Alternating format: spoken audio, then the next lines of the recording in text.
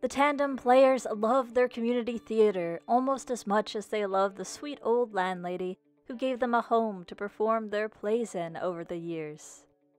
But when she passes away, and the will that was to leave the Broadtown Theater to the acting troupe disappears, they don't even have time to mourn their loss. Her son comes in like a wrecking ball, brandishing a 20 year old will and an ultimatum leave or be buried under the rubble when he has the place demolished.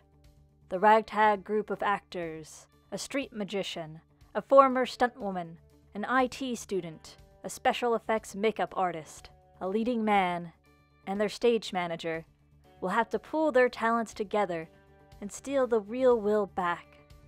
And they'll have to steal it fast, because the next wrecking ball that swings in is going to be the real one. Limelight and Larceny, The Crew Building Con by Jordan Riley Swan and Hero Bowen is available now in print, ebook, and a full cast audiobook production.